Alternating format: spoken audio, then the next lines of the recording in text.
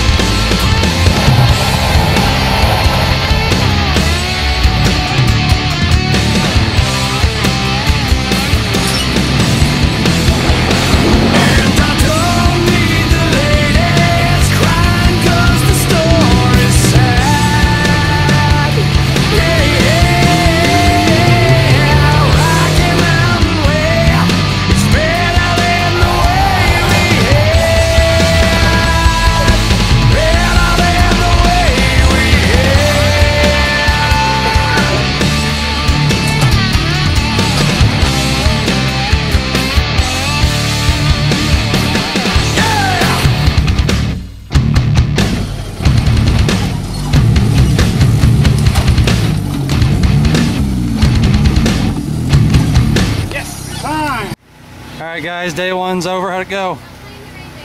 Day one, Pro Mod, I thought it went extremely well. We ran clean courses. We kept the tires on the ground.